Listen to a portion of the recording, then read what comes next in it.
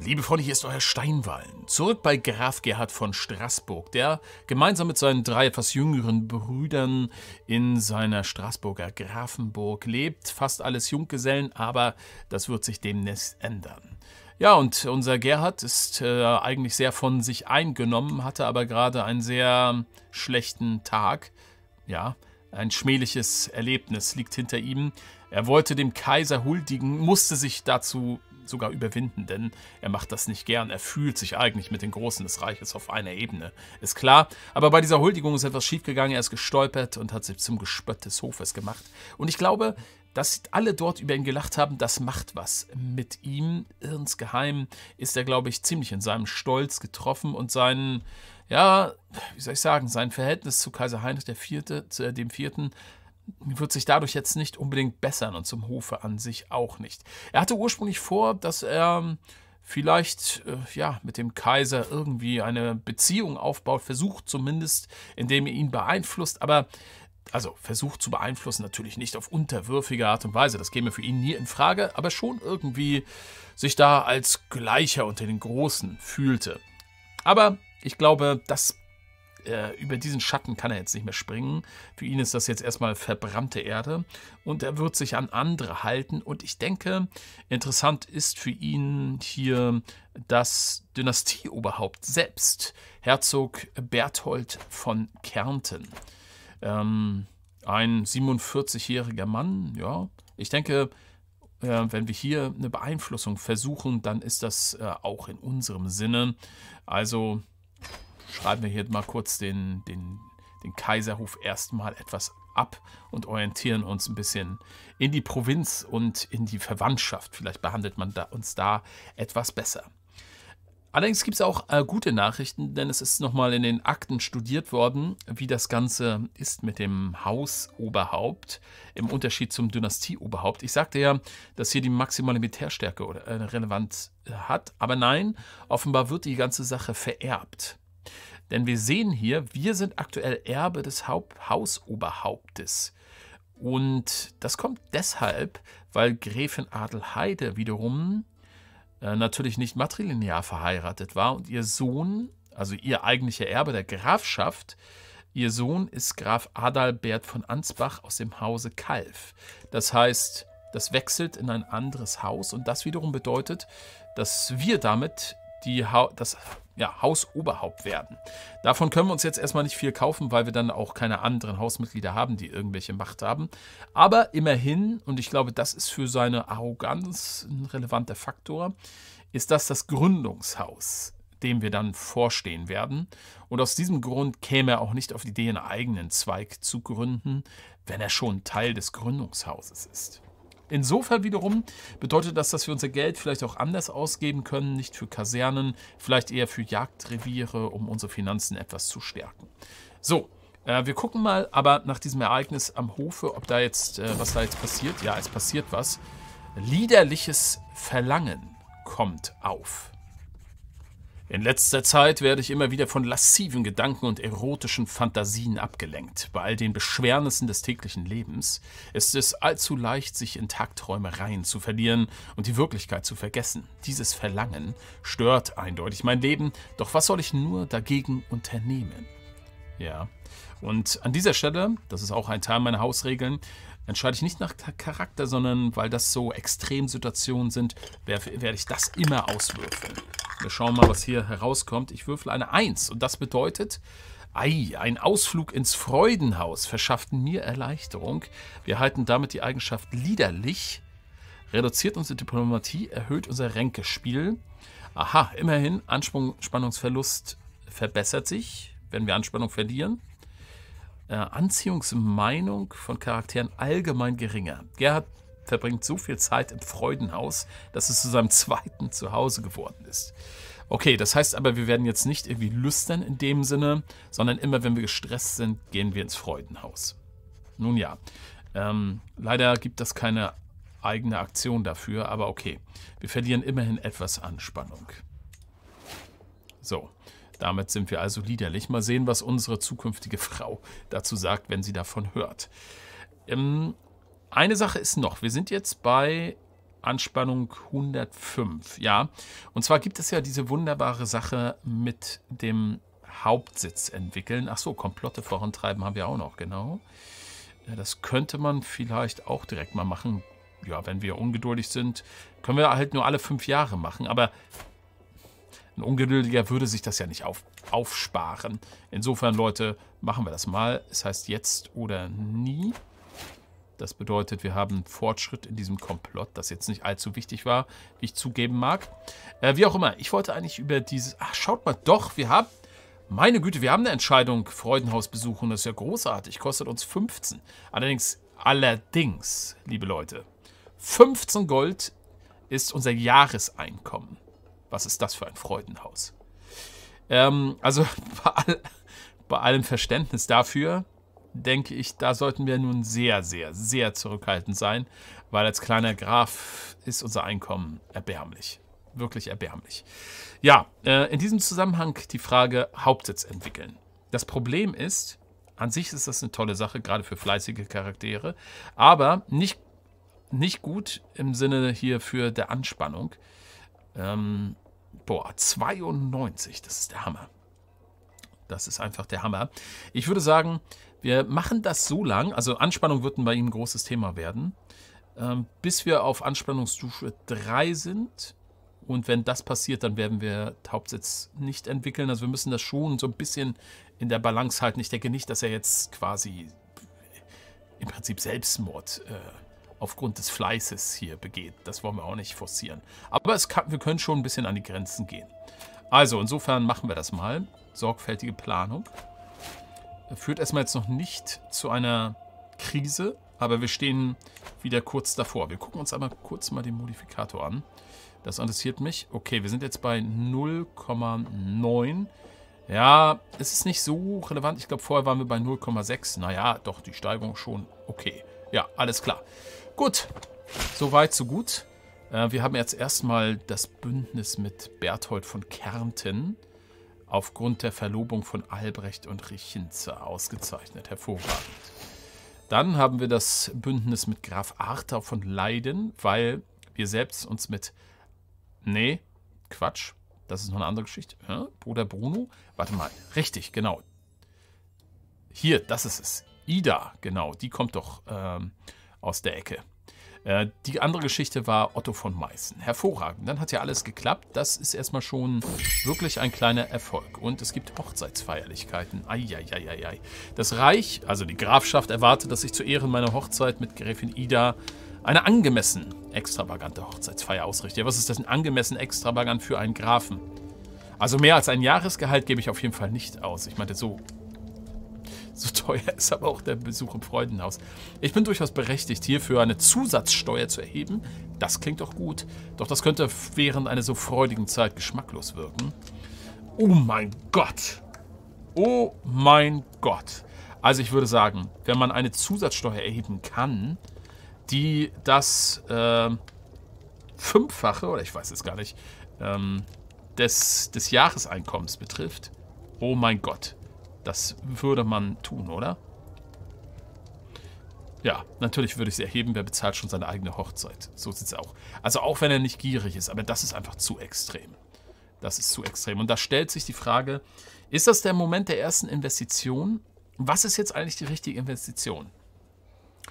Ähm, bisschen problematisch ist, dass ich natürlich jetzt nicht ausrechnen kann. Also was natürlich sich anbieten würde, wäre der Bau einer Stadt. Aber warum? Ja gut, wir dürfen die nicht selbst führen.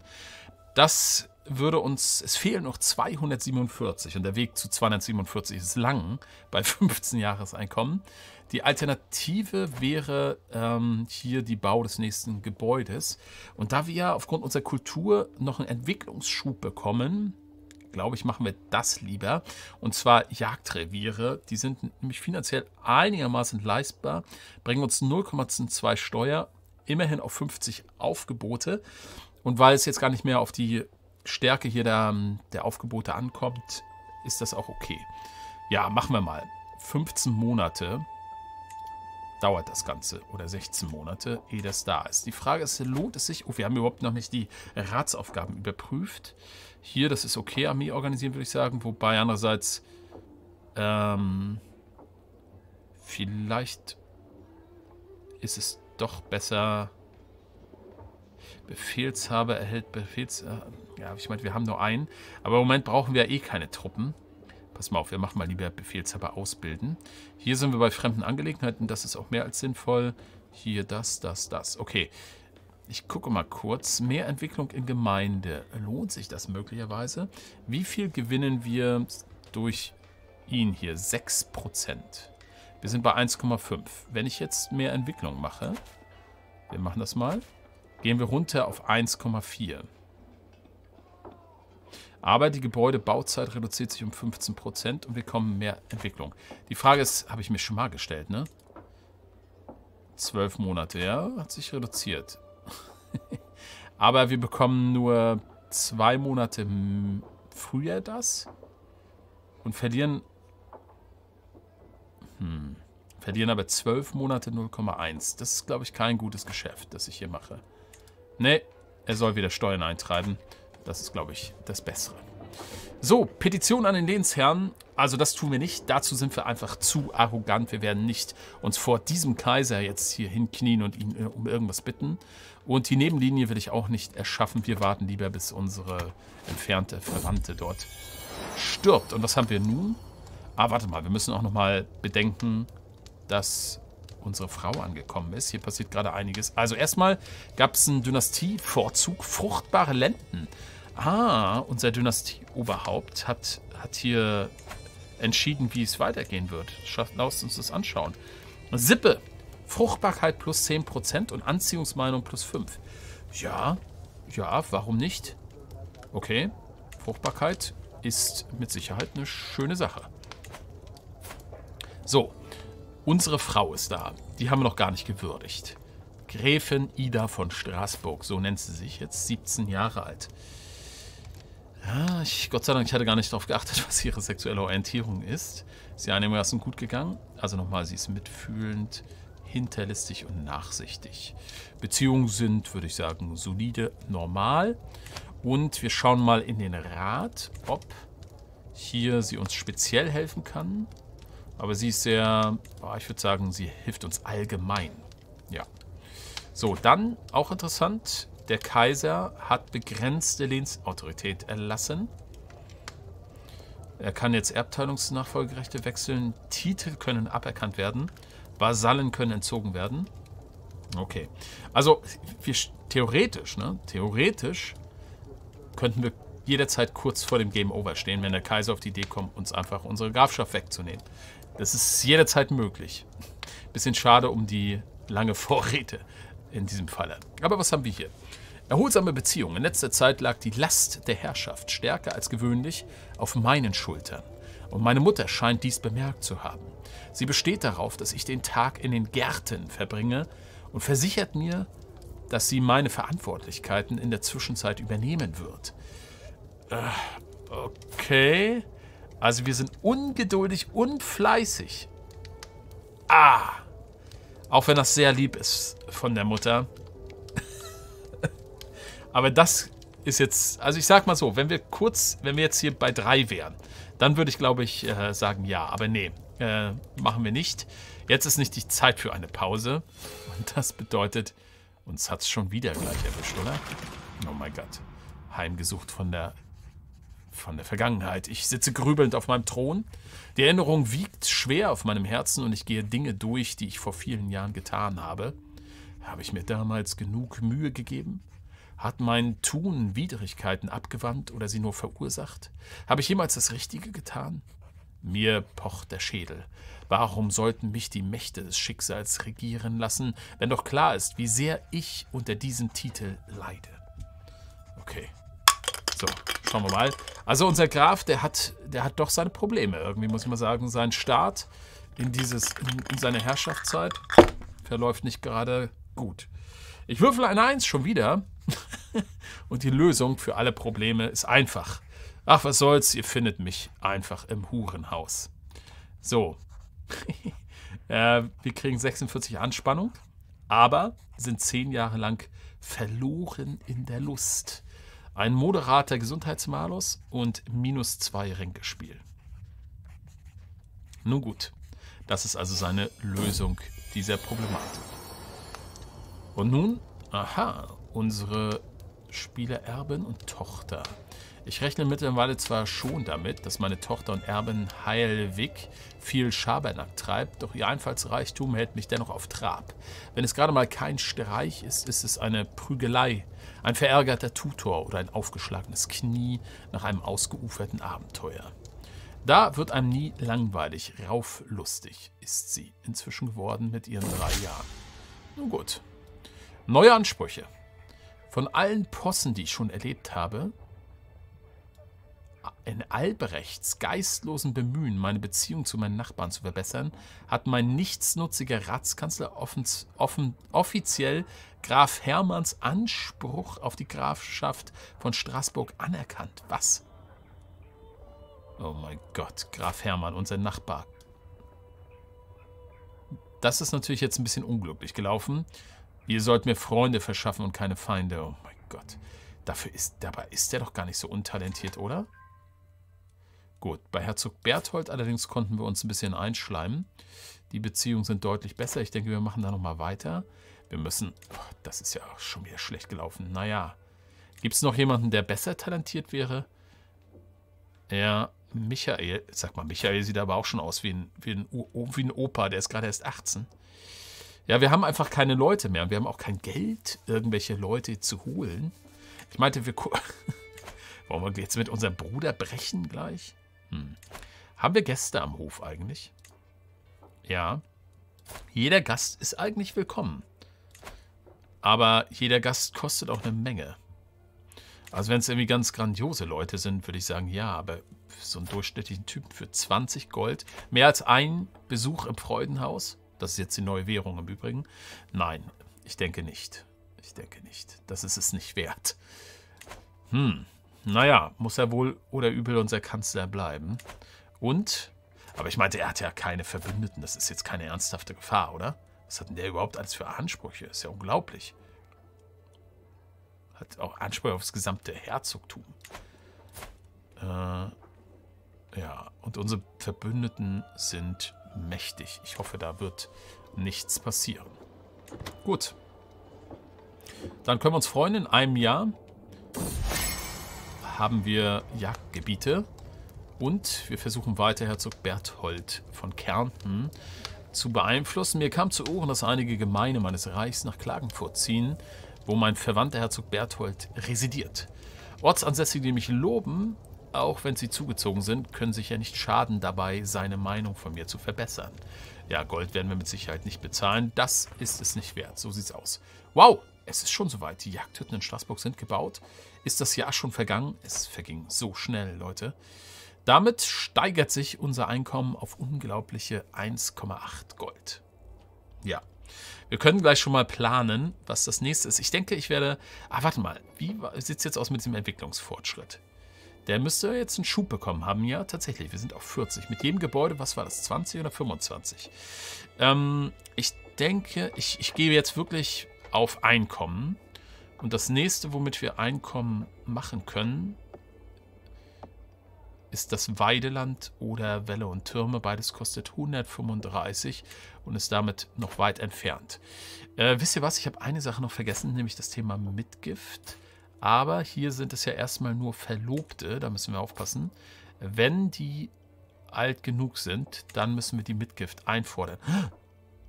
Stopp. Stopp. Ich habe ja selber geheiratet. Oh mein Gott. Ich habe ja ganz vergessen, dass ich ja selber geheiratet habe und einen Anspruch habe auf eine Mitgift. Und nach meinen Regeln bedeutet das, dass ihr Vater, der jetzt aber allerdings schon gestorben ist, ach du Schreck. Ah, warte mal, da muss der Bruder blechen. ja, nach meinen Regeln haben wir oder war das der schon? Äh, ja, ja, das war, glaube ich, schon der. Haben wir einen Anspruch auf von einem Grafen mit ein bis zwei Grafschaften 50 Gold. Und die werde ich jetzt einfordern. Äh, Aussteuer einfordern 50 Gold. Vielen Dank nochmal an den guten Methusalem, der diese wunderbare Mod programmiert hat. Äh, wir fordern die ein und das gibt uns natürlich jetzt hier äh, neue Möglichkeiten, denn wir sind dann doch gar nicht mehr so weit entfernt vom nächsten Gebäude. Gut, dass ich noch daran gedacht habe. So, aha.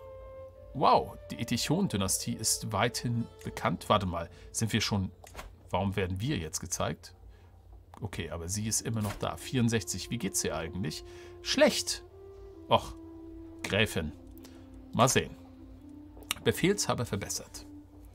Hugo hat eine bessere Kriegsführung erhalten. Das finde ich eigentlich ein bisschen schade, weil es wäre cooler, wenn eigentlich der Ratsmarschall selbst, aber ich glaube, er kann sich nicht selbst verbessern. Insofern ist das schon in Ordnung.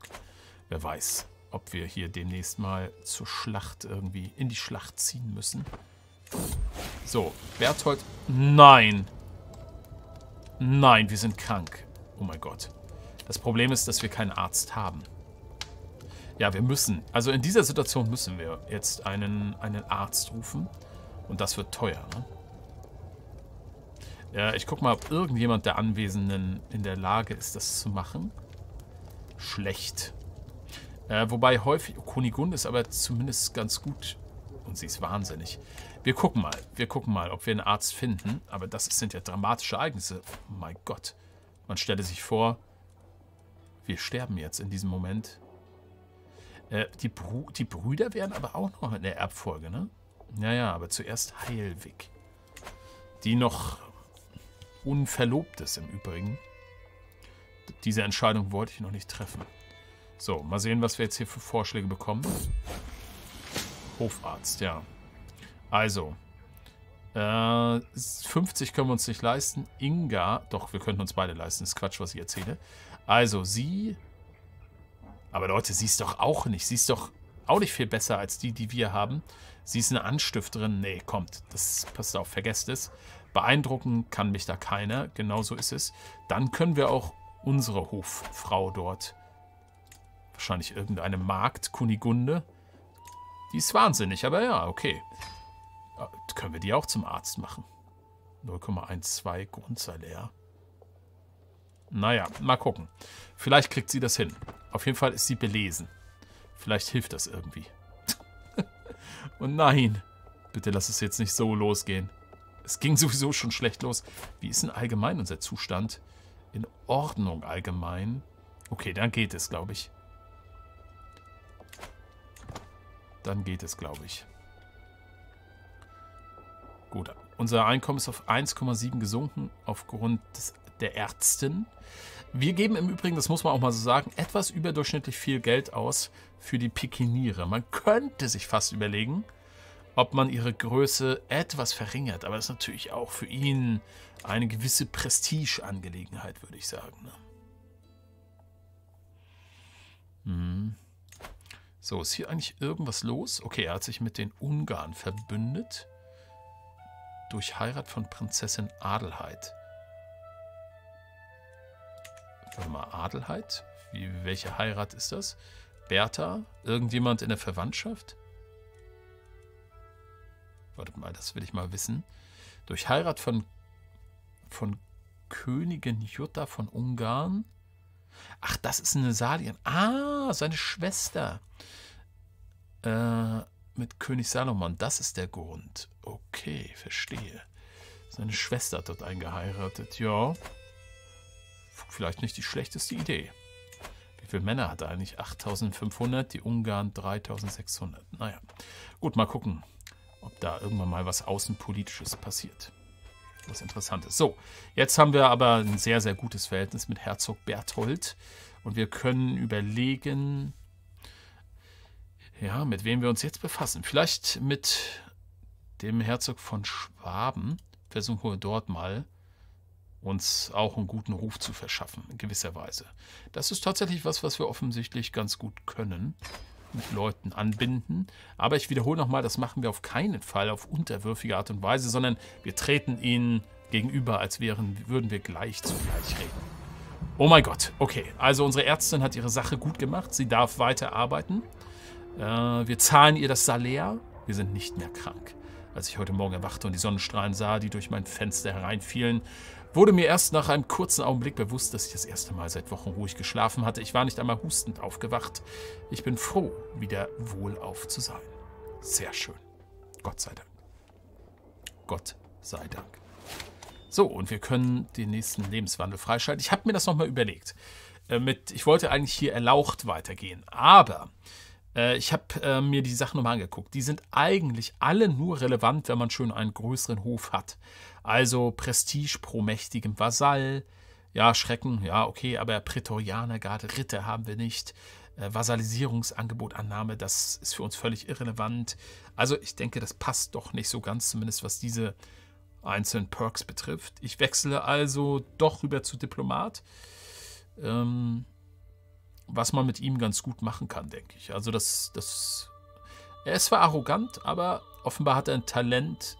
Vielleicht, also erlebt man auch manchmal, ne? Leute, die arrogant sind, haben auch gleichzeitig äh, durchaus ein Talent, irgendwie doch klarzukommen mit anderen Menschen und sich doch irgendwie gerade aufgrund ihres Selbstbewusstseins in bestimmte Kreise hineinzuquatschen. So, das würde ich es mal bezeichnen. Meinungszuwachs durch Geschenkschicken bringt uns vermutlich auch erstmal nicht sehr viel. Ich schaue mal kurz. Ähm, ja, defensive Verhandlungen. Das ist natürlich ganz cool. Kann ein Bündnis ohne Heirat vorschlagen. Das kann richtig hilfreich sein. Spracherwerb ist für ihn vielleicht nicht so relevant. Oder doch Familienhierarch. Oder wir machen einfach so eine Kombination. Kommt, also defensive Verhandlungen sollten wir vielleicht mal angehen. Dann machen wir das wohl überlegt. Gut, wir sind schon bei 126 Gold. Okay, bei 135 schlagen wir zu. Aber was ist mit unserer Frau? Die könnte doch auch mal langsam schwanger werden, ne? Wird Zeit hier, sie ist schon 20. Und wir 22. Gehen wir zu oft ins Freudenhaus. Äh, William der Eroberer nimmt die englische Kultur an, ist nicht mehr normannisch. Also er hat Erfolg, er hat seinem Beinamen alle Ehre gemacht. Ich weiß gar nicht, ob er jetzt erst den Beinamen bekommen hat, wahrscheinlich. Habe ich noch nie drauf geachtet. Ja. Vorankommen. Oho, was ist hier los? Sowohl Protestat Jack, Jaquin, ja, Jacinto, Jacinto, Jacinto von Ancona, als auch ich genießen hohes Ansehen bei unserem Lehnsherrn Kaiser Heinrich. Ist das so? Ich hätte gedacht, die lachen über uns. Wenn es jedoch um die Vergabe von Titeln, Ehre und Reichtümern geht, wird einer von uns immer Erster und dergleichen sein. Wie bitte? Ich habe noch überhaupt kein Reichtum und Titel vom Kaiser bekommen. Wartet mal. Der ist aber... Okay, der ist auch nur ein popliger Graf. Weit weg im Übrigen. Aha, aha, aha. Wohlstandsschaffer habgierig. Okay. Aber er ist auch direkt der Vasalle. Das, das ist wahrscheinlich ein Punkt, der uns jetzt beide hier, äh, in dem wir uns ähneln. So, die anstehende Zusammenkunft in Klingenberg, oh Gott, wir müssen wieder zum Kaiserhof, bietet mir die Gelegenheit dafür zu sorgen, dass die Gunst vom Kaiser mir gehören wird. Na gut, mit meiner goldenen Zunge sollte das hier ein leichtes sein. Uh, es gäbe die Möglichkeit, ein schwaches Druckmittel beim Kaiser zu bekommen, okay? Ich werde anschaulich darlegen, dass die höchsten Mächte stets auf meiner Seite sind. Das ist also Bildung, hier geht es um Diplomatie. Oder wir Vasallen sollten miteinander und nicht gegeneinander arbeiten. Nee, das mit Sicherheit nicht. Ich glaube, da ist er einfach zu arrogant für solche Aktionen. Hier ist es ziemlich eindeutig, dass wir das hier tun werden. Die Frage ist, wie wird es ausgehen? 72 Prozent? Jawohl! Jawohl! Großartig. Der Kaiser hat äh, okay, also das ändert jetzt ein bisschen die Lage. Also der Kaiser hat jetzt gemerkt, ja, der Typ ist vielleicht doch nicht so peinlich. Vielleicht fand er es auch ganz sympathisch, äh, wie unser Graf dort aufgetreten ist. Äh, einfach, weil es ihn amüsiert hat. Und wir haben ein Gefallen bei ihm. Oh mein Gott. Was gibt es da für, für Möglichkeiten? Wir könnten einen Ratsposten verlangen. Hoho. hm. Ich bin mir nicht sicher, inwieweit wir, wenn wir jetzt, also es gäbe ja noch die Möglichkeit, doch dort eine Petition einzureichen. Ich bin mir nicht sicher, ob der Gefallen dort auch nutzbar wäre. Das wäre eigentlich cool, wenn man über, wenn man mit Hilfe von Gefallen Petitionen wirklich sicher machen könnte. Weil dann würde zum Beispiel der Kaiser uns hier eine Stadt finanzieren können. Das wäre auch großartig. Aber ein Ratsposten ist natürlich auch der Hammer. Boah. Ja, Leute, was für ein wunderbares Ende dieser Folge. Wir sehen uns in der nächsten wieder. Vielleicht ist unser Graf doch ein kleiner, doch nicht so ein Pechvogel, wie wir bisher dachten. Bis dahin macht's gut, euer Steinwall.